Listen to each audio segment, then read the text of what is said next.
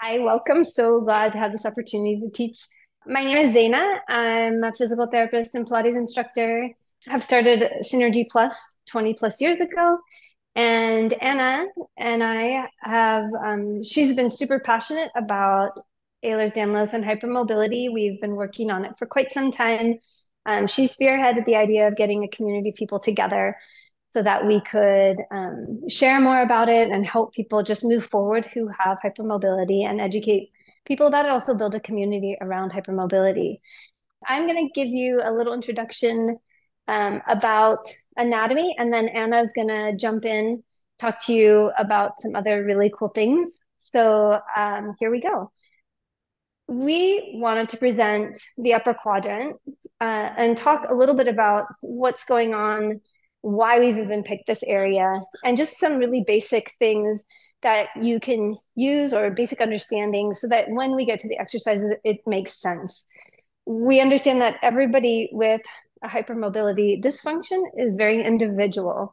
So uh, it's all really going to be a very individual process. I don't think there is a single formula that works for any one person anyway in general, but especially when we're talking about hypermobility. So anything that we do today in class, um, if it's not right, for, if you are hypermobile and you're attending and it's not right for your body, please stop, don't do it. Um, you can modify it. We are gonna do a few exercises on the roller. That's gonna work for some people, but it's not gonna work for some people who are really, really mobile in the shoulders. So Anna's gonna take you through some of those exercises, but you're always welcome to modify, to come off the roller, use the mat only, um, and then make the exercises right for yourselves. And then again, if you have questions, we are going to leave some time at the end to answer those questions. So I just wanted to talk a little bit about the shoulder in general. Um, I wanted to show you, this is Francesca, my friend Francesca, and I just wanted to talk to you about, when we talk about the shoulder, um, most people just think about this shoulder joint, right? So that well, that's one of the shoulder joints, the glenohumeral joint, this ball in its socket. But I also wanted to mention quickly that the there's a big ball. There's not a very big socket, right? Uh, I don't really see much of a socket. At the hip, for example, we have a ball and a socket. That looks like a ball and socket. This looks like a ball sitting kind of in something that's a little cutout, but not like the hip, which is fantastic for mobility, but guess what? It's not fantastic for stability, right? So keep that in mind that we get this beautiful range of motion.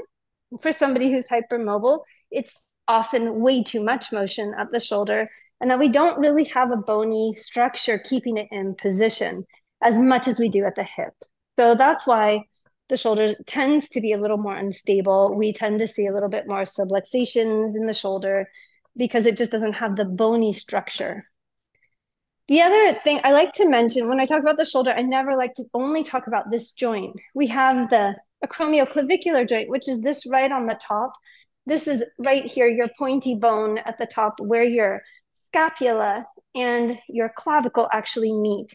So for me, that is, it actually is a joint. It's ligamentous and it has a tiny little disc in there it has to have a little tiny bit of motion for us to be able to lift our arm all the way up, but it also is there to create stability. So I, I like to call it the top of the joint. The top of the shoulder is this AC joint, right? So we have this glenohumeral, we have this AC joint.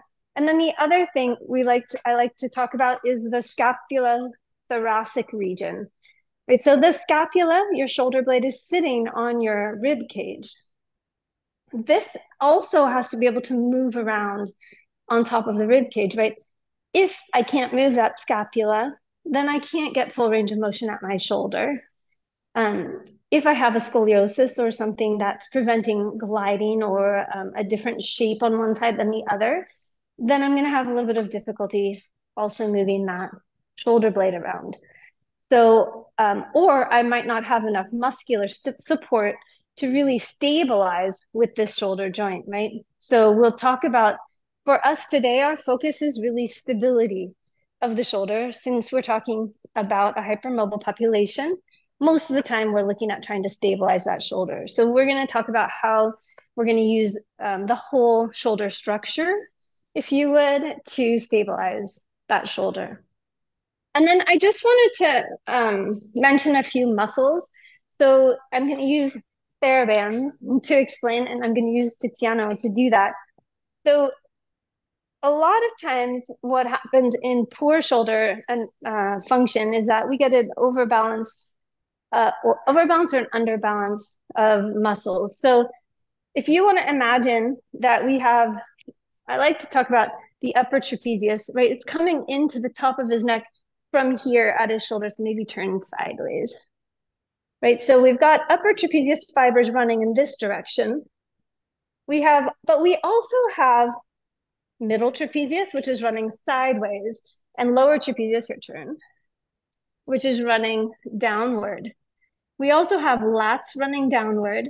So we've got actually bigger, more musculature in the downward direction than we do in the upward direction, which is kind of ironic because what's the posture that we see people in compensation patterns for most of the time is this upward. We're holding upward and we're going forward.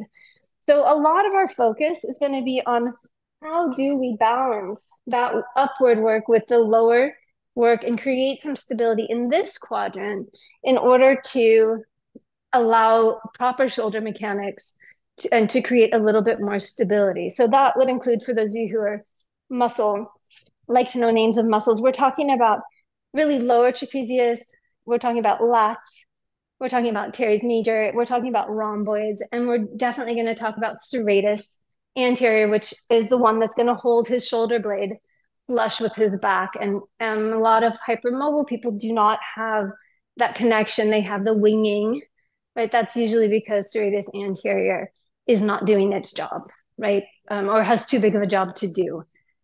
So so that I know is a lot of information in a very short period of time, but just so that you have some pictures in your head as we go into these exercises. Um, and then I'm going to turn it over to Anna, who will introduce herself and talk to you a little bit about uh, posture and alignment. So kind of just picking up on Dana was was leaving off, uh, taking some of those muscles. She was talking about some of those joints and making sure they're in the right places. So if my bony structures are in the right place, then most likely the right muscles will turn on. Those lower traps will turn on. Serratus muscles, the serratus anterior will turn on. So thinking about taking your, your joints or your body parts, your head and your shoulders, you want to make sure they're stacked. And those head and shoulders are stacked over your hips. The way I like to think about alignment for me, which really helps, is that if I stack things like building blocks and I really accurately put them one on top of the other, really very accurately, they're going to be really supportive. They're going to be really strong against force. If I have just the littlest bit of shearing forward or back, then I'm not going to be so strong. And I, for myself, the image I have in my brain is like a Jenga, where you've got those little blocks that you pull out and you pull one out just a little too far. And it wouldn't hopefully completely fall apart onto the floor, but it's just not as solid. It's not as good for load. So that's the first part of kind of the alignment um, conversation is that we're having our head over our shoulders and we're having our head and shoulders over our hips with those building blocks.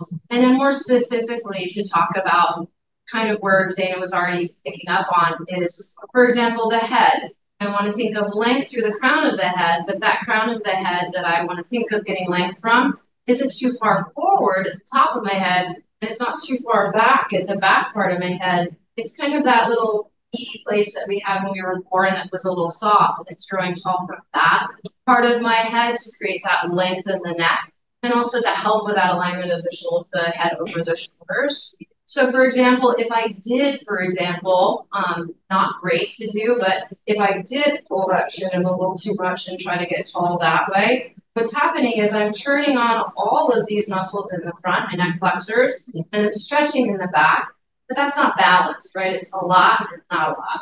Same thing if I jump forward, I've got tension in the back, and I've got no work in those neck flexors. So that's not that kind of balanced work front and back that's to hug be in that place to support. So we want to think about the right muscles turning on when we put our head in the right place. And part of that for me, when I think about it, is where my chin is. And that really helps me and where the crown of my head is. So that like, um, and then the next place I go to is shoulders. So got my head in the right place. And then I think about where my shoulders are. And Zeina kind of talked about this a little bit. I could pull my shoulders up, which would be getting me into those upper trapezius muscles right here. It's kind of, I think of my stressor muscles when I'm stressed out long. It's those muscles, and I'm like, let those go. But there's a whole bunch of other traps that trap is huge, right? It starts high and it goes low, and I, I do want some of those traps, but I want them more that mid trap and lower trap area, along with those rhomboids in the middle to hold my shoulders, my shoulder blades in the right place. So, for example, just like with the head, if I roll my shoulders forward, I have too much work in the front. My pectoral muscles, my chest muscles, all those muscles in the front are working really hard. But I'm dead in the back. There's nothing going on back there to support me. All those lovely muscles Zeina talked about. But then I also don't want to overcompensate, pull them way back and squeeze and pin my shoulder blades together. Because if I squeeze and pin my shoulder blades together, I'm not going to really be able to move my arms. That's not really functional. But I've turned on all those muscles in the back and I've stretched in the front, but I'm not balanced. I don't have that kind of hug front and back, but that equal work from our, our muscles in the front and back. And ideally, we want that kind of feeling of hug. And then more specifically, going down now to the shoulder blades, if I do with my shoulders, roll my shoulders forward, I get that kind of roundedness in my shoulder blades too. And I don't want to have my shoulder blades there. I want to have my shoulder blades nice and flat on my back with my shoulders wide.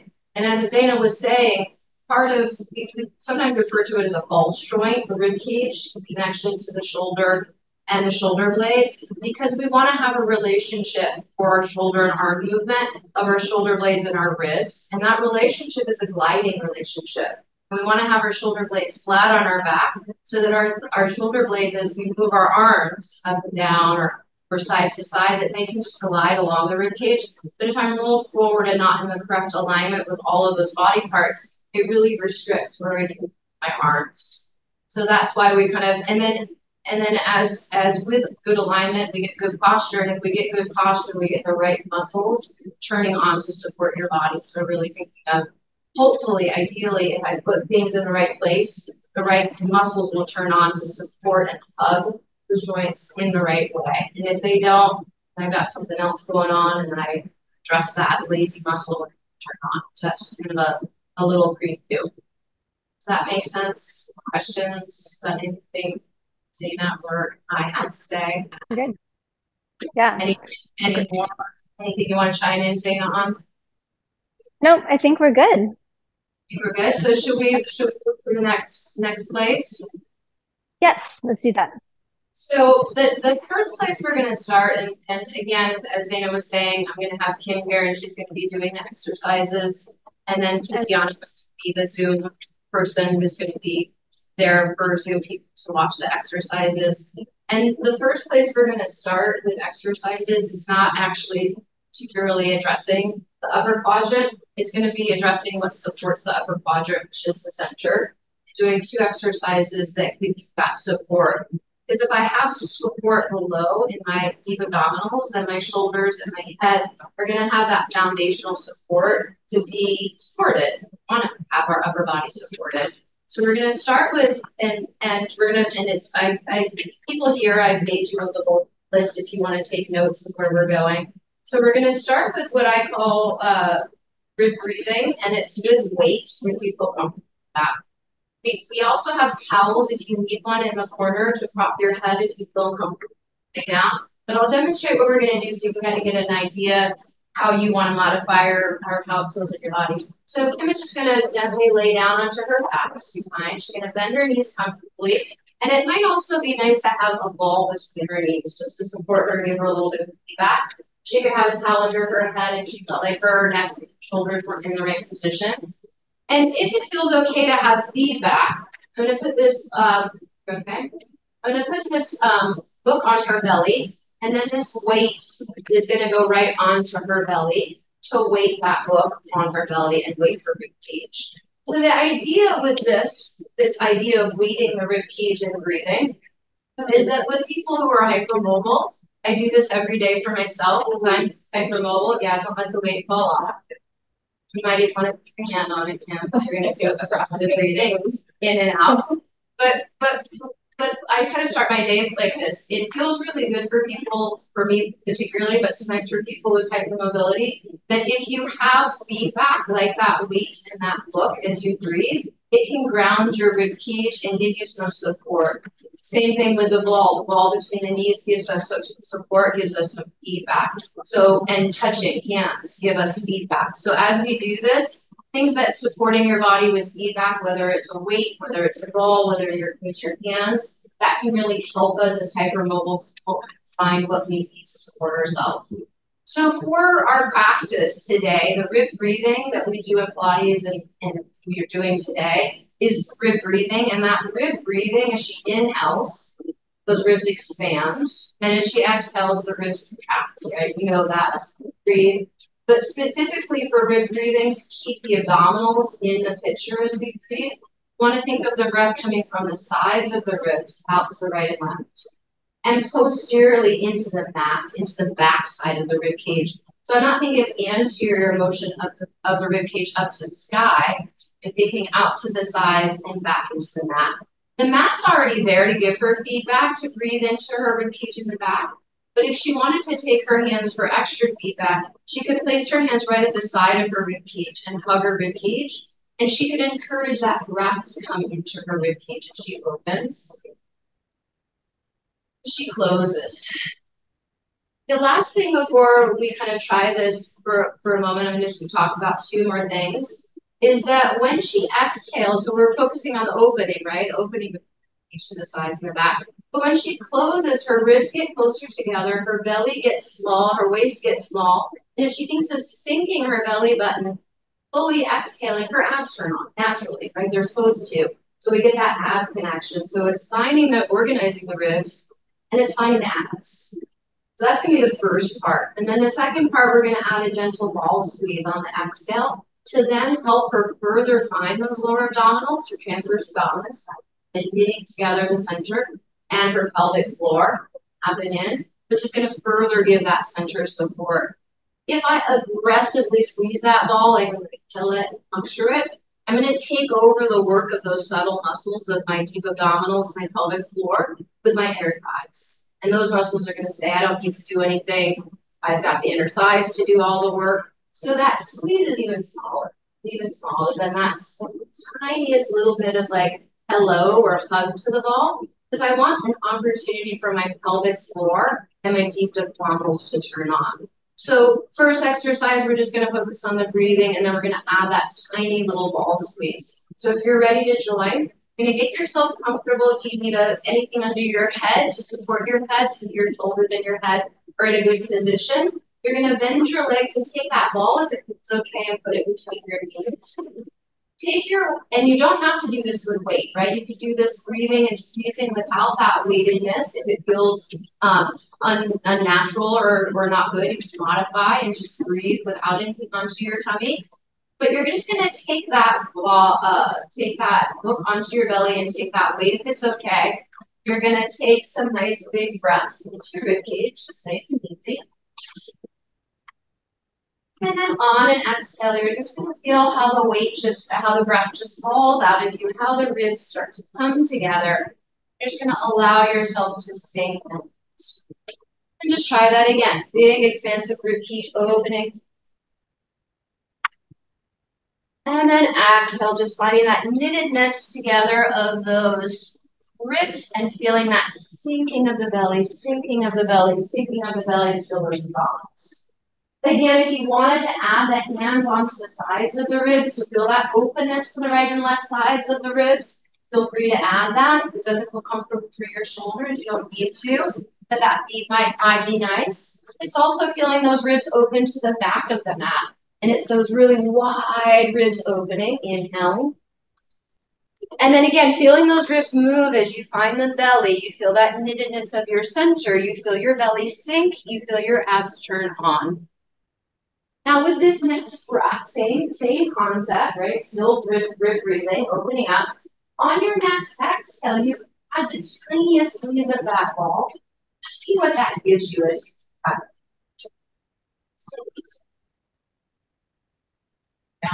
and you're just adding that little bit of hug and squeeze into the ball as you exhale.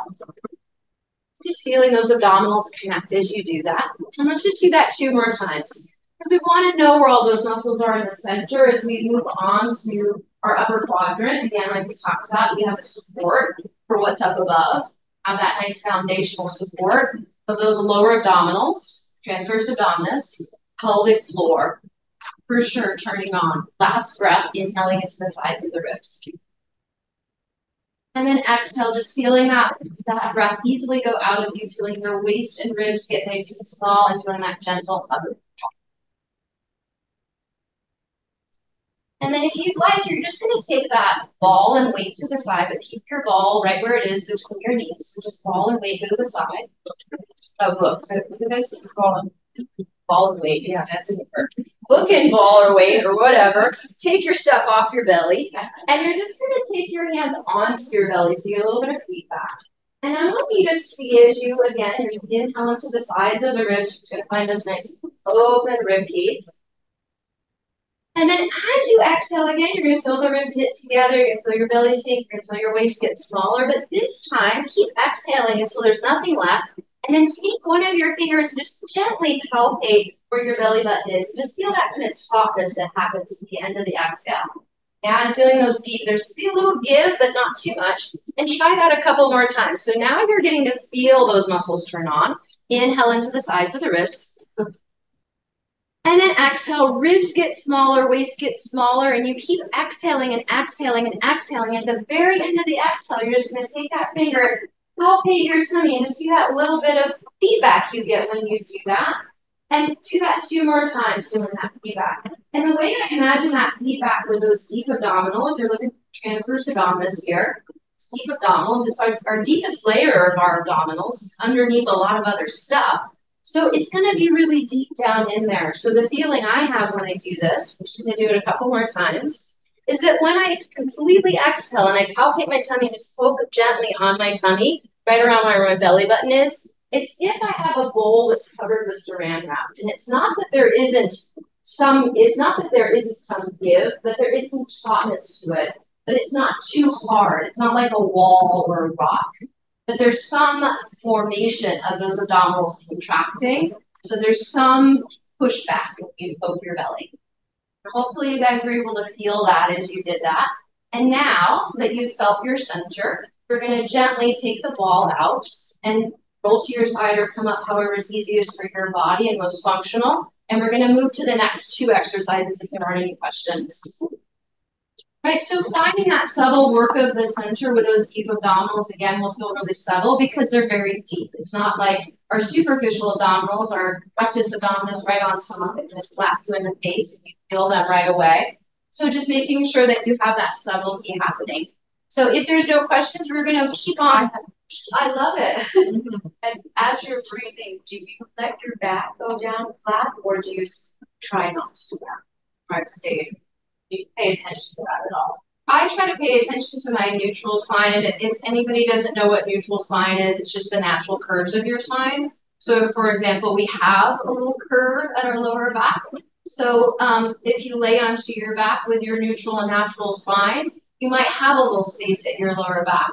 But if we imprint it and we took that lower back and put it onto the mat, for some people that feels more supportive. You get feedback, right? Again, some people it feels less supportive to be in neutral. So if you need that feedback of imprinting your lower back, then I think you should do it, or you can put something there to get that feedback.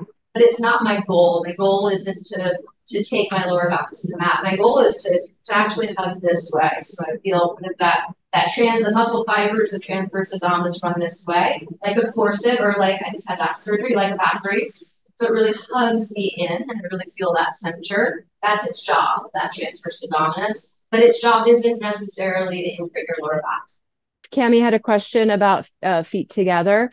Um, I usually have my feet on the ground if that's what we're talking about, laying down. I try to be if Kim could just come down. If you have the ball between your knees, right, just place the ball between your knees. I like to keep my my legs right where they are here so they're kind of hip bone distance. If I didn't want the ball and I just wanted to have feedback from my, I'm going to take the ball now.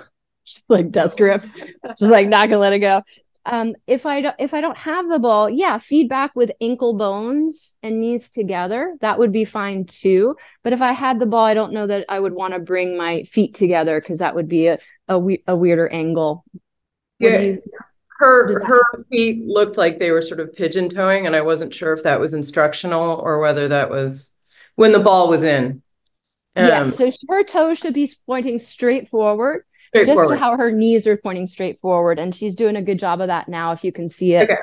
And then if she had the ball, it would be the same thing, whether or not she had the ball, that she's kind of lining up her ankles and her knees. So they're like train tracks. Okay. And we- and I can sorry, let me add one thing. I'll let you continue. The interesting thing about that is if you toe in, and maybe you already know this, but if you do toe in a little bit, it does tend to activate the pelvic floor a little bit more. So if you had somebody who were you were particularly focused on pelvic floor strengthening, you could intentionally pigeon toe in a little bit, not not too much, just a little pigeon toe in. Then when they put that light pressure on the ball, it automatically kind of activates the pelvic floor just a little bit more. So just a little tidbit. Sorry, I interrupted. Go ahead. The the other question I had was, and I'm an EDS or MCAS POTS, all that stuff. Um, I found myself um, in the part where where our abs were supposed to be going down. Um, naturally wanting to pull my shoulders forward, which I imagine is part of the aberrant movement pattern. Um, and I was curious if you guys have any advice for that tendency. You go ahead, Zeina. Anna. Okay. Yeah. So one of the things, and Anna and I actually we're gonna are gonna bring this up later too. One of the things I like to do, usually that's a sign of either pulling, working too much, or just tightness in the upper structure. So tightness in the pecs, tightness in the chest region. So one of the things that I love to do is just turn the palms upward. It's instead of palms downward on the floor, palms upward tends to externally rotate the shoulders, not with force, just gently, and then let um, I'll, I'll let that body just sort of fall to the floor there, the shoulder blades fall, and then you'll activate your abdominals as much as you can before you peel them back off the floor. So it may be that the abdominal contraction in this position has to be a little bit less for the moment. Yeah, go ahead, Gloria. I have a comment about that. A lot of times the shoulders are so uh, unstable that laying back, they, they go out of alignment. Um, so you're holding them in. So one thought might be to support uh, your shoulder with, you know, a little towel both sides so you don't have to hold them. Like here, like right on the sides. I, I mean, underneath the back. Underneath the shoulders, yeah. Yeah. Yeah. Great. Any other thoughts, questions? No? Great. Thank you guys so much for that. And it's all you. Awesome. So we're now we are going to go up into the upper quadrant now that you've got your center support. This is again where you could do this on a roller if you if that gives you good feedback or if you feel more comfortable, you can do it with something under your head laying down or just laying down with not something under your head. Do you have a preference? Well, actually, we'll do it both ways. So she's going to lay down and she can have that ball between her knees if she wants a little bit of feedback. She's going to get comfortable. And if she wants to toe in a little bit to get that pelvic floor, she could do that a little bit she have something under her head if she needs that for getting her shoulders and her shoulder blades in the right position.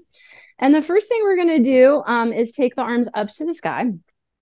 And I want you to think with all of this movement with our bodies, if you are hypermobile like me, that we have a lot of possibility of movement, but I'm not really looking for full range of motion with any of this. I'm not going to my extremes, whether that's an extreme up or an extreme down. It's just getting some movement to find the right muscles to turn on. It's not about aggressively clamping down or aggressively separating. But we had talked about the shoulder and the shoulder blade position for alignment, and that the shoulders should be wide out to the sides of the room, not too far forward, not too far back, and that the shoulder blades should be flat on your back so they can glide on your rib cage. So I don't want to have my shoulders too far back or too too far forward or too far back. So we're going to practice that in what's called a shoulder slap or shrug. So it's just going to be an inhale of our fingertips up to the sky. Our shoulder blades will separate a little bit they may come off the floor. And again, it's not a big range of motion. And gravity on her exhale just lets her shoulders settle into that wide position and her shoulder blades flat on the mat so she can feel the proper placement of her shoulder and shoulder blades. She inhales and separates. She's got too much work in the front. And then she just allows gravity. She's not forcing it. She just allows gravity to draw her shoulders wide and her shoulder blades flat. We're we're doing that rib breathing, right? We're inhaling into the sides of the ribs. And then we're exhaling, finding those deep abdominals as we find those shoulder blades nice and wide. Now we're going to demonstrate the next exercise here, which is kind of finding the relationship of arm movement and rib cage and that when we move our arm, we don't want to necessarily pop our rib cage, which is one of my favorite things to do, is just to pop my rib cage to move my arm, and then I lose my ab support in the center. So she's going to take her right arm up to the sky.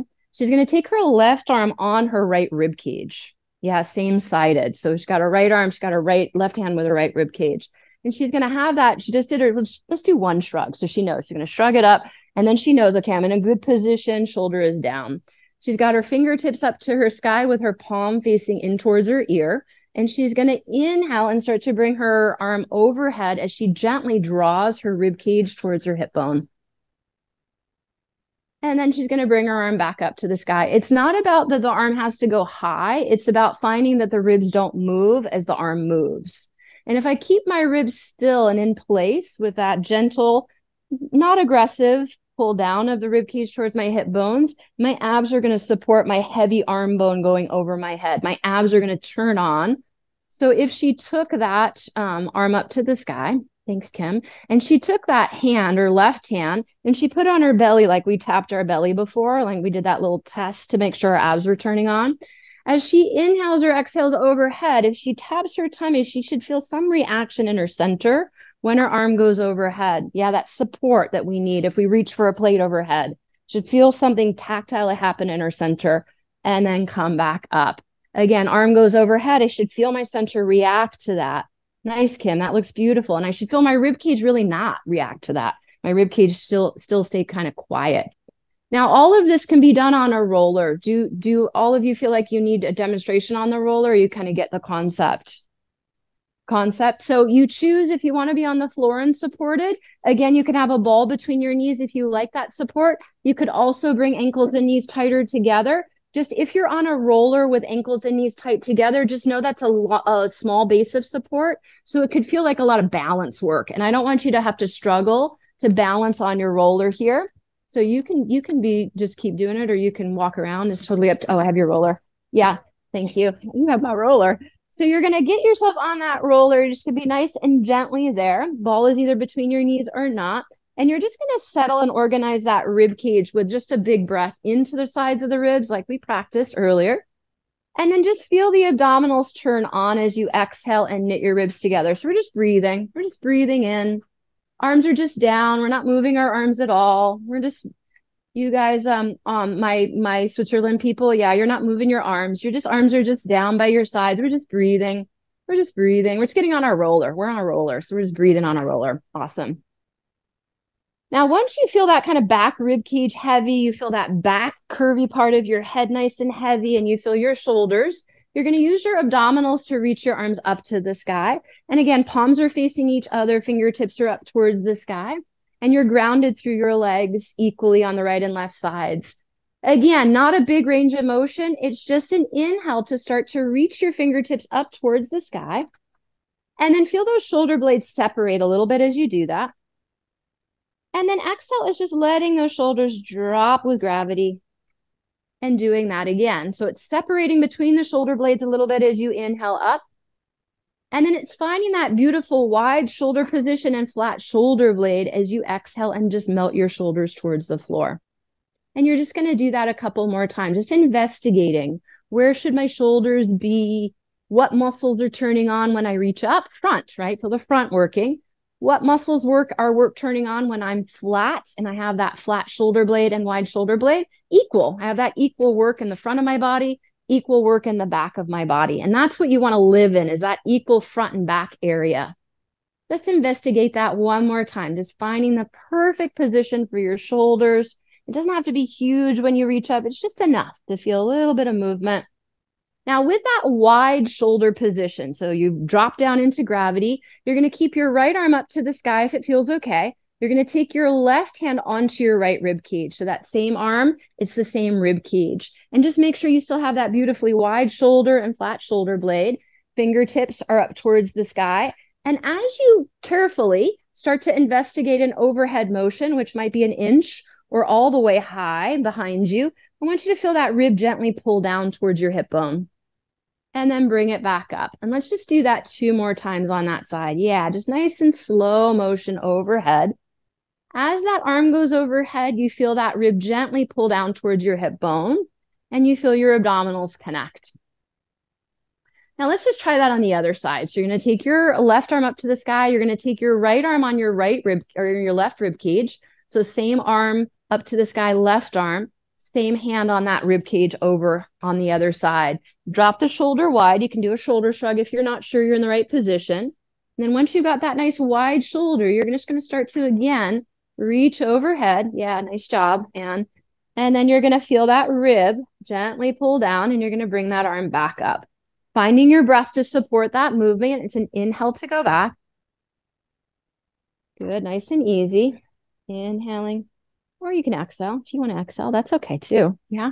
As long as you're breathing. Two more times. Gotta keep breathing.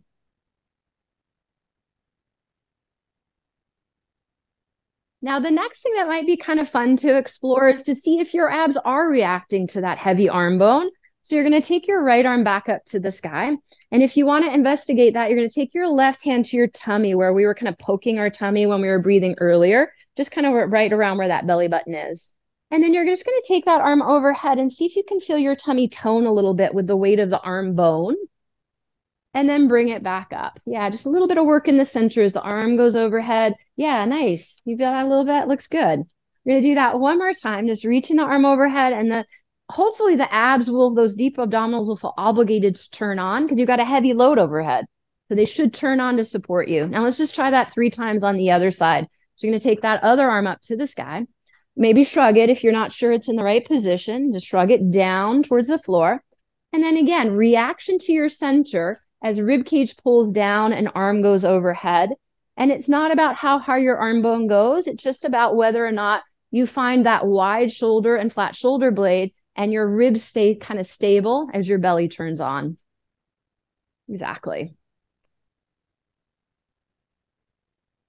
Nice work. Now, once you found that, any any little thing you want to do there, if you want to move your shoulders around a little bit, you want to breathe another time, just stretch in any way you need to or move in any way you need to before we're going to come off that roller if you're on the roller. And we're going to investigate something a little bit different. But if your body needs to move in a certain way, let it move how it wants to move before we come out of there. And then that roller is going to go to the side and we're going to investigate kind of a, a deeper, deeper dive into that arm overhead motion and the next place we're going is going to be what we in PT sometimes call dead bug, which is basically opposite arm and leg reaching away. And it's going to be a coordination between the upper quadrant and the lower quadrant, unless there unless there are questions about that one. Doing doing okay. So we're gonna we're gonna have that. Now we're flat. Support your head if you need, and we're gonna with with Kim investigate. You want your little towel there? We're going to investigate how we can move body parts but keep our center supporting us because that's real life, right? We're not just reaching one arm overhead, arm overhead on a roller and just breathing deeply and having a minute to do that. We're moving something and the legs moving and we're reaching for something. So she's going to reach her right arm up to the sky and she might shrug it again if she wants to kind of find that connection, shrug it down and wide. And then she's going to use her abdominals and her exhale and that deep feeling of belly to spine to float her left leg, opposite leg up to tabletop. And just notice how her right leg moved a little bit. She found a little instability on that right side, but she's going to ground through that right side. Again, this is not about a big motion. It's about coordinating your upper and lower body and finding that diagonal line of connection between your internal and external obliques. We have these little crosses across our body like this. So what she's gonna find in her, yeah, her left hand, if she wants feedback and go on her belly, I love it. It's a great idea wherever you want Kim. But she's gonna start to reach arm and leg away. Her left leg is gonna stay bent and it's gonna start to lower towards the mat. And her right arm is gonna start to reach overhead. But it's not about the destination, it's about the belly turning on. And then it's going to come all the way back up towards the center. So we're coordinate just as if in in real life we were walking, right? We swing opposite arm and leg to walk we want to be able to use our upper and lower body at the same time. And we want to be able to stay connected through our center as we move those body parts and not lose our center or wobble around. She's also really having to stabilize through her right side, that right side grounded onto the mat so that her knee, that right knee doesn't fall out to the side. And then she's going to come back up. So that concept again of, of unfortunately, let's do a few on the other side. So just gently allow arm and leg to go down. Take a nice big breath into the rib cage. And then we're going to take a left arm up, exhale, sink the belly and float right leg up to tabletop. And she's going to reach opposite arm and leg away as she, yeah, she takes them away. So it's going to be toe taps. It's going to be oh. stay bent. We're going to stay bent as you go away. Good. So, so we want to be able to do two things at one time, at least in daily life. We want to be able to step forward and push the door open and feel like we can keep our center connected. But as a hypermobile person, that's sometimes a big thing to ask my body to do, to be able to do two things at one time and still stay connected to my center. So we're going to practice that now, unless there are any questions. So, and again, it's not about how far the arm goes or the leg goes to the floor. It's about can I move upper and lower, whether it's an inch or two feet, and I stay connected in my center and I know where my back rib cage is. Lay down comfortably, support your head however you would like to support it. And then just take a nice big breath in, right? That rib breathing again. Just settle yourself into the mat. And once you've kind of settled yourself into the mat, yeah, you know where I'm going, just to that foot, you're going to float your right arm up to the sky. And you're going to maybe do a shrug if you need to to find that position of shoulder and shoulder blade. And then you're going to use your next exhale to sink your belly, find your deep abdominals, and float your opposite left leg up to tabletop. And then once you're in that position and you feel nice and grounded, beautiful job. Yeah, why not? And then we're just going to inhale or exhale those legs away, whatever finds you find those deep abdominals. Draw that rib cage down and then bring the legs back up. We're really grounded through that stabilizing right side. And we're really grounded through that back rib cage. Beautiful job, Annie. So you're just finding that motion. Now I'm doing a bent leg up and down, but you could straighten that leg away. That's great too, because it's even harder for those abdominals. You want to make sure that knee stays really grounded right. Yeah, exactly. Right in front of your hip bone. And we're just going away. And I love that a lot of you have your hand on the belly to feel that feedback because we need that feedback. It helps so much, like a helping hand, literally, right? Our hands are helping us. Now, once you've found that, we're going to settle how, however is easiest, arm and leg down. And we're going to take a nice big breath again, find that settling down, that grounding down. And then you're going to find that other arm up to the sky. And then you're going to, on your exhale, sink the belly and find that other leg, opposite leg up to tabletop. And then just notice as you did that, if your stabilizing side moved a little bit, as we start to again separate and come back together, taking the upper and lower body away and coming back together. Making sure you go slow enough with that motion that you can really find the important things, which is not the arm and leg. The important things really are that your center turns on to that reaction of heavy load of your arm and leg reaching away and just do that two more times, kind of exploring that motion of I can move my arm and leg and keep my rib cage right where it is, keep my shoulders nice and stable, and keep my stabilizing side on the mat really stable. So I have a lot of stability as I do that motion. So one, some things are moving and other thought other things are not moving. And that's really important to know what's moving and what's not moving. Just ground yourself down and do any stretch or movement that you need before we move to the next place that we're going to go. So if you want to hug your knees to your chest, if you want to stretch your legs up to the sky, if there's anything that would feel good for your body to just be your own body for just a moment. And if there's any questions, just let me know because we're kind of moving into a really different area in a moment.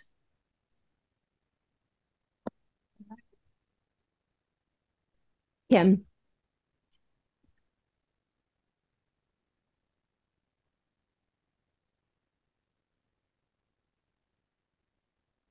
Yeah. The opposite. Yeah. Yeah. So Annie, Annie was just um uh, just bringing up a really good point that the the arm that wasn't moving. So say we have the left arm up to the sky and the right shoulder was on the mat. What she noticed with Kim was that that right shoulder that was supposed to be wide and grounded on the mat was kind of moving off the mat and rolling forward a little bit off the mat. And that doesn't have as much stability for her. So some attention to that groundedness of the flat shoulder blade and wide shoulder on that opposing side that's not moving is going to create more stability, which is going to help you. And more core, right? If I'm more grounded into the mat, for sure. Thanks, Annie. Anybody have any questions? So the next place we're going to move on to is prone. And I want to give you some options for prone because I can I find that for my own body, but also bodies that have hypermobility, laying on our belly doesn't always feel awesome if we don't have the right support for it. So I'm going to demonstrate some of these motions in a kneeling seated position, but you could also be standing if you needed to, if laying on your belly doesn't feel good. We can also prop your belly with a little towel or if there's a pillow or anything. Yeah, if you need a blanket. And that can also give you support if you need it in that prone position. But we'll talk about that a little bit more when we prop Kim in a moment. But first, Kim's, I'm going to move this way just a little bit. We're going to, no, you're fine, Kim. You just be comfortable. But first, I'm just going to kind of demonstrate what we're going to do in a prone position, which is what, what I call, or Zeina calls this, I think, W arms. So I'm kind of describing the, the letter W, or some people refer to it as cactus arms. But you'll notice that my elbows are just a little lower than my shoulders and my palms are down as if I was on the floor, right? My palms would be on the floor. So I'm I'm recreating that kind of prone position and I'm just kneeling. And when I'm in this position, I want to make sure I roll my shoulders back and down. So I have my upper trapezius and I have my shoulders down and my elbows, they don't pin in, but they're they're not up. They're they're gently drawing down. Crown of the head is reaching up to the sky and the neck is nice and long in the back. So when I'm in that position, if I'm in that position, we can do what we call W squeezes, which is just gently, again, always gentle, not a big range of motion, but just gently squeezing between our shoulder blades. Because when I squeeze between my shoulder blades, I'm turning on those muscles that can change the posturing when I'm like this to turn on those muscles that sometimes are a little harder to turn on our lower trapezius, our lat muscles, our rhomboids. Yeah. And that those muscles that draw our shoulder blades together. So that's going to be the first motion. And then the second motion is going to be a swan, which I can do in kneeling too. So if I'm kneeling here with my W or cactus arms and I grow tall through the crown of my head and I just lift my sternum forward and up towards the sky this way, instead of going back like that, I can get a little openness through the front and in this thoracic spine that lives under my under my rib cage if I just do that little bit of arching. Again, it's not about arching and going back. It's about arching and opening the heart forward as if the sternum was going to come to the mirror in front of me as I turn on those muscles that I turned on with my W squeeze. So that's one option, kneeling. But I'm going to have Kim come onto her belly and she can put a blanket under her belly if she needs to.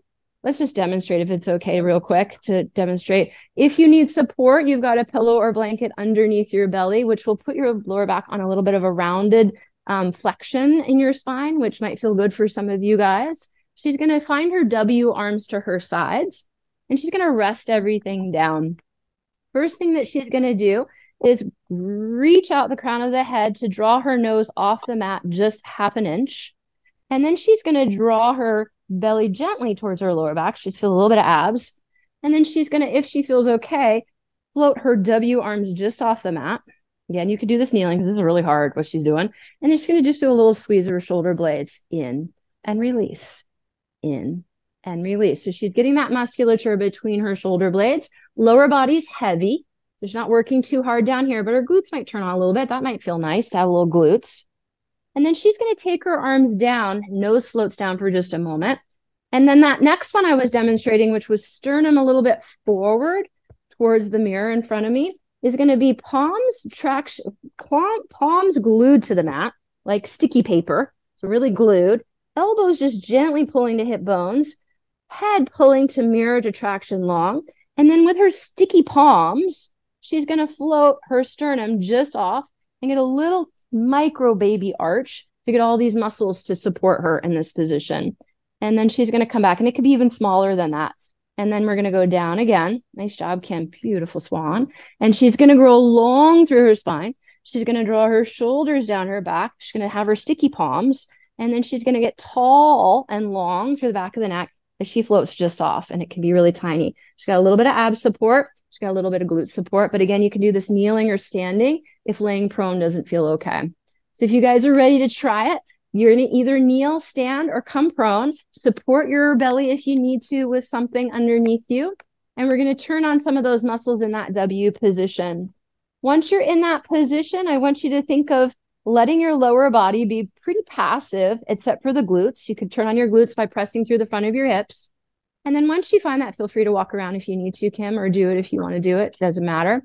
Once you found that position and you found those W arms, you're going to feel your shoulders nice and down away from your ears. You're going to feel your butt, belly button just gently pull towards your lower back, not too much work. And you're going to make sure those elbows aren't too wide out to the side. So you just have it slightly more pulled in. Nice, Annie. You're going to float your nose just a hair off the mat, the tiniest, tiniest float. And then you're going to keep pulling your abs in as you gently float your arms just off the mat and just do the tiniest squeeze between your shoulders. Squeeze, tiny, really tiny squeeze. Yes, beautiful, Jennifer. That's exactly it. So you're getting a little bit of rhomboid a little bit of lower trapezius, you're getting all that good stuff. Turning on to support your shoulders and your shoulder blades. Nice work. Squeeze. Now that's a lot of work. So let's not do too many of those, right? Let's just let that go for a moment. Head goes down, everything goes down. For this next one, yeah, awesome. Would love it. Totally. Yeah. For this next one, hands are going to stay sticky. Palms are sticky. Yeah, like you got sticky glue on your hands. Your elbows are going to draw gently towards your hip bones. Belly pulls just a little bit off the mat. Glutes are active by pressing through the front of the thighs. You're going to grow long through the back of the neck. And then you're going to gently and slowly float up into a baby swan by bringing your sternum forward and lifting up. And then just lower back down. And let's try that again. Notice how if your legs are heavy, have your legs nice and heavy. And then you're going to and then you're going to slowly and carefully sticky fingers on the mat long neck reaching, elbows down, and you're going to float up just a micro, miniest bit. Chin in, back of the neck is long. And you're going to do that just one more time. Just going to touch you. That's okay. Little more glutes by pressing through the hips. Yeah. Um, yeah. Nice. Nice job, Anne. That's beautiful. Sticky fingers. Yeah. And then come down and do a stretch or anything that would feel good. For Kim, right away, what she wanted to do was do a child's pose. For some of you, a cat might feel better. You're just kind of following your body where it might want to go after that. So, again, we're trying to find the muscles that support our shoulders, our shoulder blades, and our head in the right position. And a lot of those muscles are in the back that are harder to turn on. So, we're really working on those in that prone position. So, um, Zeina, I just want to check in with you for a moment. I was going to do neck isometrics, but I just don't know if we have enough time because I think you might want to take over now. Yep. Yeah. Let's maybe we'll add those back at the end. We can just yeah. do them quick. I think, yeah, I'll turn it over. Okay. Okay. Should I take my microphone out now? Maybe let's just mute you unless you, and then you can just unmute you when you need to say something. Says, yeah, I'll do that. There's a question in the chat um, about why so few reps. Why so few reps? Love that question. So I we have a lot, Kemi. I love I love I don't necessarily do so few reps. It's because we have a lot of stuff and we want to do a lot of stuff. Um, with with this stuff, you want to have enough time to really find it and find it for your body. So I would take more time with it. I would go a little more slowly through it with more repetitions normally. But I also was thinking of Zeina, and Zeina has a huge amount of wonderful stuff, and I didn't want to take over too much time, so that's why I was kind of moving quickly. But great okay. question. I would, I would. So when we do these on our own, um, I, I yeah, because we, we're uh, you know we're trying to counteract a tendency that's that we're otherwise in all day long. So I'm trying to figure out that balance between overdoing it and being type A about it versus making real progress? I, I love that question and I and I think Zeina might have an answer too, but I'll just say really briefly that when I do some of those exercises, I again am thinking about that equal work front and back. So it's not even about lifting very high to overdo it, especially in the swan or in the W squeezes to squeeze and pin and pinch too much.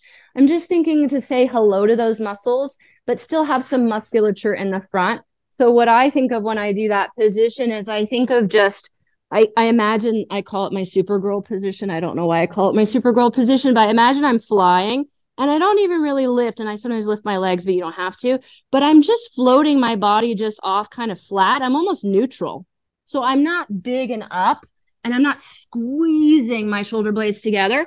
I'm just trying to feel those muscles in the back turn on enough, but not overdo it like you're talking about, that I'm not doing too much. So the way I would think about it, and Zainab, I had a different way of thinking about it, is that I'm just floating up more of a neutral. And when I do that swan, it's just the tiniest little idea of my sternum peeking forward as if I had, I want to show everybody my heart a little bit, but it's not big. It's just to get that idea of the muscles in the back without aggressively doing it. Yeah. And then I was just going to add in terms of numbers of repetitions, my preference is not too many at once ever really. And ideally that you're making corrections throughout the day. So i find that first of all what anna was alluding to is that working too hard doesn't help. It actually makes things worse. And because if you're a mobile person you work the muscles really hard you can then sublux a joint right? So keeping the work like anna was saying really quite low would be better um, in terms of intensity, as she was saying. But then in terms of repetitions, I really wouldn't do more than four or five. And, and like Anna was saying, take it slow. And then if you can do it, especially if you're trying to fix a posture, three, four, even sometimes five times a day, just for two minutes, just to change the po- habitual posture that you're in. Um, again, really gently, but few repetitions at a time more frequently, I think is a better bet usually. I'm going to carry on from here and I'm going to move a little bit more quickly because, as Anna said, we have a lot of things we wanted to share with you. So, um, I wanted to take you into all fours position. So, quadruped all fours. If you have trouble with your wrists, you maybe just want to take them out of the picture for the moment by putting your forearms on a box or on a chair, um, elevated so that you could be on forearms instead of on outstretched hands and wrists. So I'm going to have Tiziano demonstrate it on all fours, um, and we'll do a quick demo, and then I'll have you trying it um, as soon as you feel ready. So basically, he's going to come onto his all fours, and he's going to just try and find a neutral position, which sounds like nothing's happening, but really um, it's a lot of work to find neutral if you're unstable in your upper quadrant, right? So the focus is going to be that same shoulder slap idea that Anna was talking about earlier, he's going to just create a little distance between his shoulder blades. So they're going to move a little bit wider onto his back so that he doesn't have a big gap or drop in between his shoulder blades. The main mistake here that people make is they lift the ribs thinking that now they're getting their shoulder blades on their back. But this is just actually rotating the thoracic spine into or putting thoracic spine into flexion. So he wants to stay neutral. And then at the same time, just press, I call it pressing the mat away gently with those shoulder blades, just to create enough space between the shoulder blades that he's not sinking between them. So if you want to hop onto all fours, you can just try and find that neutral position, either on wrist or on forearms. We'll start there and just you're going to hold neutral. The other piece about that is again that head posture. So if you or a client of yours or whoever has a tendency to drop that chin forward, here's a great place to really think of lengthening out the back of the skull, following the line of the spine. So thoracic spine, there's a little curve down, but then the head should be back at the level of your thoracic spine. And your tailbone is going to reach out the back end of that. So my favorite image is to imagine that you have a string tied on your coccyx and a string tied at the very top of your head. And those strings have tension and they're just pulling in a straight line away. And to play with this concept, you could rock a little bit forward and backward on your shoulders. So just play with the movement. That movement's happening at your hips really more, and your arms are going for the ride. But you're going to keep that same posture at your shoulder blades. So the tendency is to start dropping between those shoulder blades as you rock, but you just want to keep that same distance between the shoulder blades the whole time. So this is stabilizing serratus anterior, serratus anterior. Great. So then we can actually then go to work on serratus anterior, and you're welcome to do this along with or watch first and then try it. So here, I'm going to let Tiziano drop his spine in between his shoulder blades. So, and you may be too far away to see that, but his shoulder blade just pops right off his back here.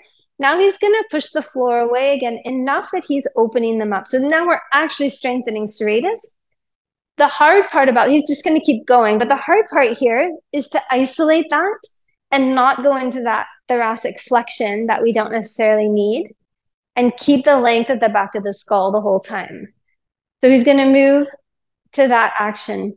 If that is enough, he can stay there. If that's pretty easy for him, we can actually take this, or if one side's weak, we can actually take this onto one arm. And this is a lot harder, but I like to demonstrate it because I like the position. So if he takes his right arm and just brings it into his chest here, going to just bring it across you. Yeah.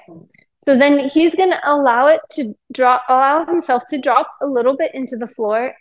And then he's going to push away again with that shoulder blade. But now he's going to allow a tiny bit of rotation the right shoulder opens to the right. And what that helps him do is stack up over his shoulder.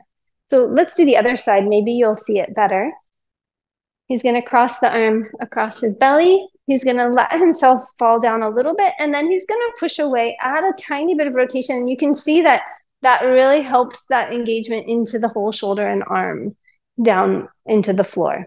And then he can relax down and do it again for us he relaxes down and then he's going to press push away and let that shoulder blade come onto his back yeah as he goes so again this is quite advanced for somebody with unstable shoulders but it is a really nice progression so you can start with the two arms I, I just yep. I think people weren't getting the rotation here. So I just want to make sure everybody kind of got that yep. piece of it. That yep, go when ahead. you're when you're doing that single armed one. Can mm-hmm. can you hear me? Yes. When you're doing that single arm one, it's sink, turn on mm-hmm. serratus, puffy right here, and then a little bit of rotation and wrap, not aggressive, just to get it even a little bit more. Like your wrap mm-hmm. is like a wrap of the shoulder, like you're screwing in a light bulb this way. So you get to yeah. have that little bit of rotation at the end. Just want to make sure people got that. They weren't quite seeing the rotation. Okay, yeah, I'm out. Thank you. Thank you. Yeah. So did you guys get that on Zoom too? That there's just a little bit of that rotation just puts him on top of the shoulder a little bit more on top of that shoulder blade so he can feel that um, work a little bit more clearly. Yeah and challenge himself a little bit more if he wants to. Um, okay so then we can add on to this quadruped again. So I, I love this position just because it is really challenging but we're going to leave the arms in upper quadrant which is what we're focused on stabilizing right now still. So the idea is that nothing moves in this upper quadrant. From his shoulder blades up through his head, he's going to stay exactly the same.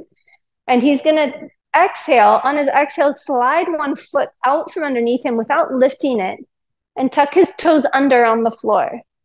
So he's going to reach through the heel, reach through the head, and he's going to keep lifting through his center. So we have not changed his upper quadrant at all. We're just stabilizing the whole time. Then he's going to slide that leg back in and he's going to, without changing anything, he's going to slide the other foot out. So the idea is that we're super focused on stabilizing this whole quadrant. The problems that come up here is that people tend to start putting more and more weight to the front part of their body onto their arms. In reality, the weight, I tell people that the weight has to be in their belly. So this has to hold the body Uh, so his weight could actually stay even further back. So his hands are really light. And then he has to really stabilize with his belly as his leg goes. And he's going to keep working to lift up just a tiny bit more. Yep. And then send that leg away and then bring it back. So if he's in the right position, if he's using his lower quadrant to help him stabilize the upper quadrant, then he could progress this to take the one leg out, leave it out there, and then take the opposite arm into the chest is where I would go. Again, without moving opposite arm. So it'll be the right arm. Yep. So then he would have to hold this position. And I go into the chest so I don't have to worry about what is happening when the arm goes overhead. Um, and it makes it just a little bit easier. Yeah. And then you're going to come back, bend the knee, and then the arm goes down, right? And then you could do that on the other side. So it might be too much to have the arm come up when the leg's out. If that's the case, you could just stay on both knees and bring the arm in, one arm in, leaving both knees down. So that would be a step in between if this got to be too much too fast. Yeah, but again, we're really keeping all of this still. And then that weight should not be traveling upward to the head, right? The more you do, the more it goes to your head is the wrong idea. It really needs to stay on the back end, right? Eventually, those hands could be super light. So there shouldn't be, at the end of the day, wrists and fingers and everything sore from having so much weight on those arms. Yeah. I'll give you guys a couple minutes just to keep going with that. Let um, the legs slide out. Explore if that's enough for you. Um, if it's if you can take more, try the arm. If the combination's too much, just try the arm without the leg. And then just working on keeping all of this connected and still. And then I'm sure you guys have seen all different progressions. There's all kinds of motions you can add to that right? To make it more and more challenging, but always with that stability in mind. Perfect. All right. So any thoughts, questions? Great. I just put one in the chat. Sorry, I'm so inquisitive. I was feeling it a little bit in my upper traps, and I was yes. wondering if that means I'm doing something wrong. Yes. So if upper traps start working, then that that is that first thing that I talked about in the very beginning about that overworking upper not getting, maybe the shoulder blades are not quite even getting onto your back. Sometimes um, just shifting the weight a little bit to the back carriage, um, and sometimes even turning the fingers just a little wide, wider out will help you find an engagement more in a diagonal down across from your shoulder blade across your opposite pelvis. So a little turnout sometimes will help you find a little more engagement. So there, then it makes just a little harder for the upper trap to kick in. So maybe try those little cues. Yeah, great, great. Okay, so I'm gonna switch positions a lot. I'm gonna have Tatiana come up to standing. And, and there's always, I always wonder if I should put you in standing if you're a hypermobile person, my client or you guys today, because now we have to deal with hips, knees, ankles, feet. Um, so for today, I'm going to imagine that they're in perfect alignment the whole time, just so that I can focus on the upper quadrant. Um, we, know that if we have clients who are hypermobile, well, actually zero of my clients come in with perfect lower body alignment, but we're going to pretend for today. If it's challenging for you to be on your feet and focus on your upper body, you're welcome to sit down and block that pelvis in a seated position. That would be absolutely fine too. So here, what we wanted to look at first is what has happened to that head. And Anna alluded to this earlier on, right? The occiput is one of my favorite places to focus. So I'm going to have you turn your back to them. Luciano's turning his back on you. The occiput being the base of the skull here. I love to think about fixing posture by getting taller, growing taller, unloading the spine. So I like to think of the occiput as the thing that needs to reach us upward. If the occiput climbs to the sky, what we get is a little tiny drop in the chin, and that top of the head that Anna was talking about earlier just gets longer and longer, right? So here you can cue yourselves. So I encourage you to try and put the thumbs at the back of your skull. So the initial putting the thumbs back there, a lot of times people climb up in their shoulders. So get your thumbs there and then relax your shoulder blades down your back. Yes. If your elbows have to drop a bit, that's fine. And then from here, you're just going to take a breath in. You're going to exhale, let the shoulder blades drop, and uh, really gently lift hands to the sky and just super gently press your occiput into your thumbs. And it's so small and so little that it's not no there's no force. It's just a lengthening. You should feel like you get a little bit of space there right? So if it's super challenging for you to have your arms in that position, you could go against a wall and roll up a little towel behind your skull and just practice being there with that little um, roll. You could also do it laying down with a towel if being against the wall is too hard. So there's lots of ways to get there, but that's the idea, right? The back of the skull gets to grow longer. So we're going to try that with some other things happening. So here, if you would grab your TheraBands. And we're lucky in here, we have uh, all kinds of things to hook them to on the walls. If you have a spot, I know in the ballroom in California, there's the ballet bar. So Yes, you want to, ballet bar, and I just wanted to give a 10 minute warning for Yep. everyone. so um, for us here, we're going to just attach the band to our springboard. Um, but you you guys in California can use the ballet bar. If you guys don't have either of those, you could use a door and lock it into a door. Um, you can tie a knot and lock it into a door. Basically, I'm gonna have him now. TheraBands I know can be hard if you have any hand issues, so I prefer to wrap the band around the base of the hand uh, just one time loosely. If if it's a TheraBand, if you need handles, you're absolutely welcome to use handles. Um, a lot of times my clients have to get a set of handles because the bands aren't are too much for them. So consider that as well. But the exercise itself, he's going to go not too far away from his band. So he's going to step up there. Elbows and arms are going to ideally stay really straight. The resistance should not be so hard that he can't pull his arms behind his hips. So I want his arms to him to pull. He's going to exhale, pull, and I want the arms to be able to pass his body. So if your arms can't pass your body, you need to take a step forward. Right? And then he's going to slowly release. The elbows stay straight. And we're going to start by activating in the sort of downward diagonal, right? With these muscles that go diagonally across to the opposite pelvis and then pull backward.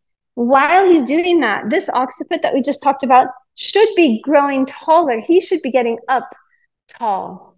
The reason we want the arms to pass the body is so that we get activation in the posterior of the body, right? We're trying to get rhomboids on, we're trying to get posterior structures on in the back body. The weight of his body should go towards the balls of his feet a little bit, right? And in fact, if if I really want him to grow tall, he should feel like he could easily lift up on the balls of his feet in this position, right? If his posture stays up and doesn't drop forward, right? So the dangers here that people pull back too far and the shoulders roll forward. So you want to make sure that the shoulders stay rolling backward. Sometimes if that's not happening, I turn the palms forward. So I pull back and then turn the palms forward and then have them just hold that, then turn the palms back to neutral. So neutral being facing the body and then let the arms go a little bit in front again. So again, that's, you could pull back, rotate the palms to the front of the room. That's going to externally rotate the shoulders at the top. Then he's going to try and keep that action, turn the palms to his body, and then let the arms go forward again. Yeah. So posterior activation in combination with elongation, right?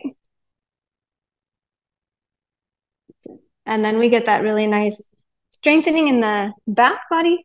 We get an elongation or a lengthening in the front um, and the lengthening of the spine upwards a little back. Yeah. That and up. Great.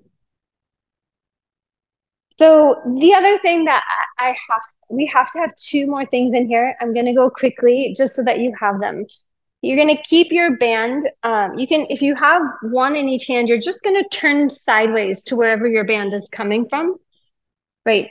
I can't talk about shoulder stability if I don't talk about rotator cuff exercises. So the rotator cuff muscles, Gloria's smiling.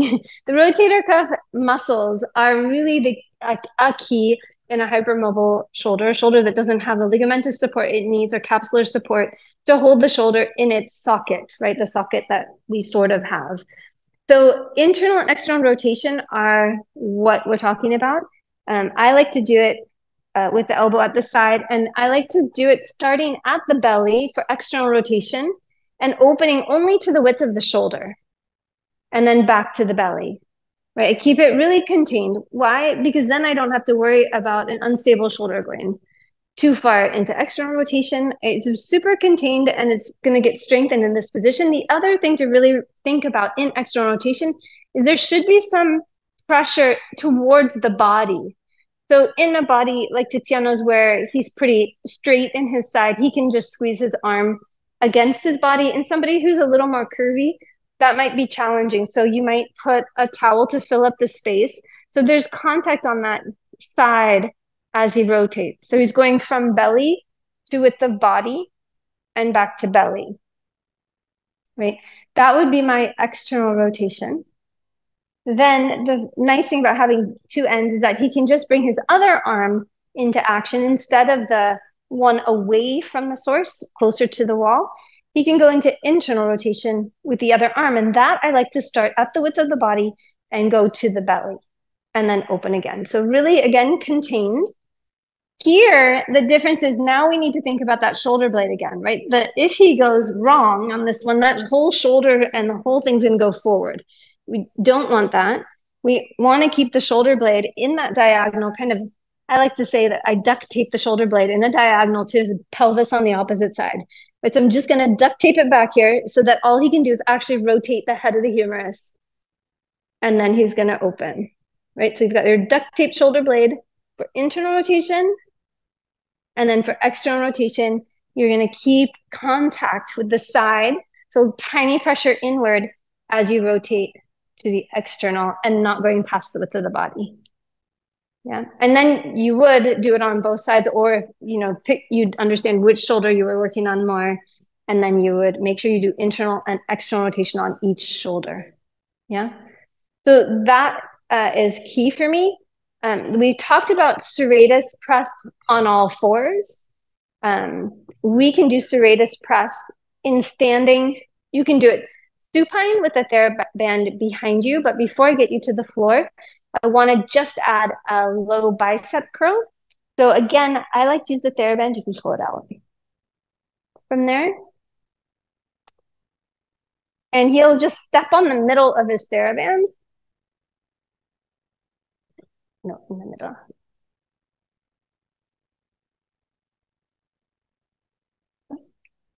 His elbows at his side and his palms up. And then he's just going to do a little bicep curl. So you could do this seated, which is probably a little more stable. Well, definitely more stable, a little easier. Um, shoulder blades are connecting on the back. So again, we don't have um, the shoulders rolling forward. We want to make sure that we've got that contact in the diagonals down the back. Wait, and then he's going to curl up and slowly down and curl up. So internal external rotation, biceps curl. And then if I wanted to move to serratus in standing, my favorite way is to take that band out again. He's going to bring it behind his shoulder blades on his back. So, and it, as wide as he can keep it, the wider the better. He's going to go under his arms and extend his arms straight out in front of him. Right. So this is the hardest place to do it because he doesn't have the feedback of the floor behind him. Right. So it's hard to know how far back to go. But here you can see what's happening. Right. So we'll keep him here for a moment. But then you could do this against a wall, or you could do it laying on the floor. And basically, he's going to punch forward a little bit without bending the elbows. So just punch forward. This is the width that Anna was talking about. We're trying to get width across the shoulder blades. And then he's going to let his arms stay straight, but the shoulder blades move together. And then he's going to punch forward. I'm going to have him turn his back to you guys now so you can see what's happening. Right? So they come together, they widen.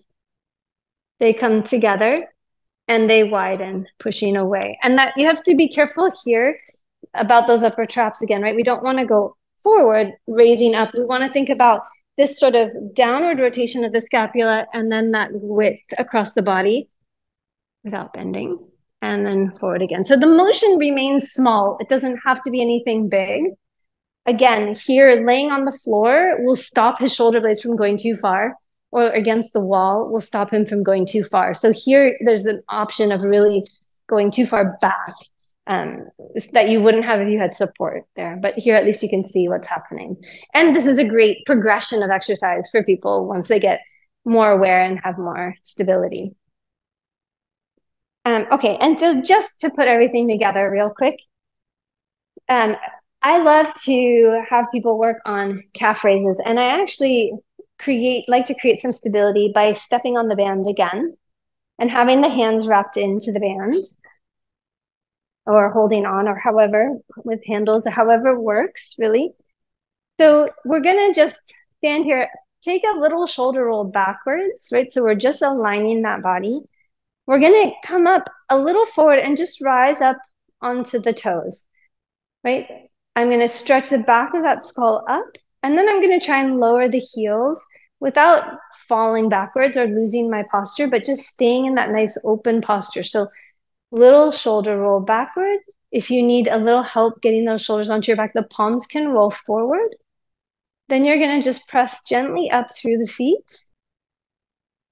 Right? Reaching that back of the skull, that occiput and top of the head up to the sky, and then slowly lower the heels back down. Great. One more time. Shoulder roll. Palms turn forward if you need you need that.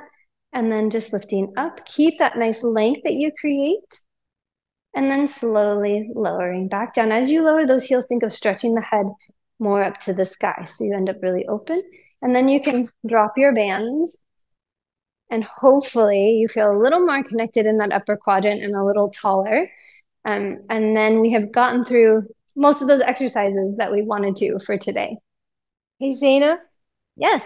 I have a question or a, a, a, a discovery. When we were doing the chest expansion exercise with the TheraBand, and then you said um, externally rotate your palms, your shoulders.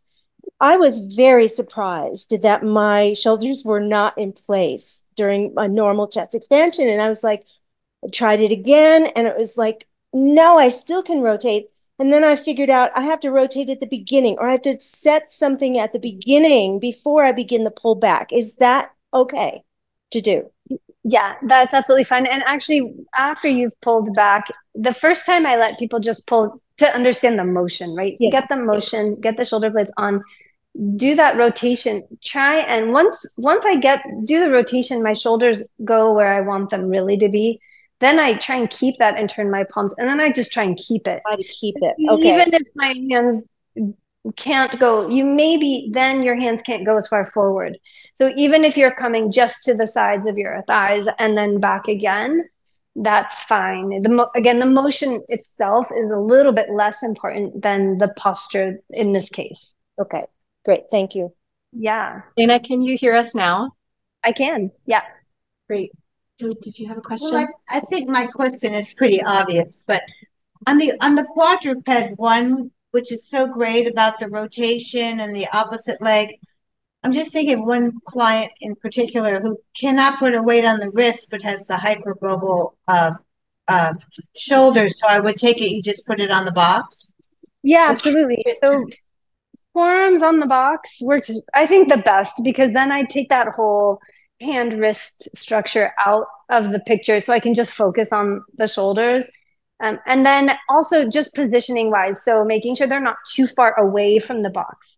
So the more, the more um, the arms are in towards my body, the easier it is for me to access. The further out I go, the further up away I go, the less support I have in the shoulder socket, right? I keep saying socket. You guys know that I what I mean, right? Positionally, it's a lot easier for me to stay connected to my lower body, my even my thor- thorax, if my elbow's a little closer.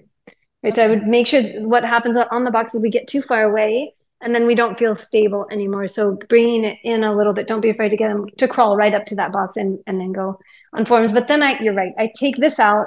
I can focus on the stability at the shoulder. And at a later time, I would want to try and stabilize those, or maybe not with full body weight. Right.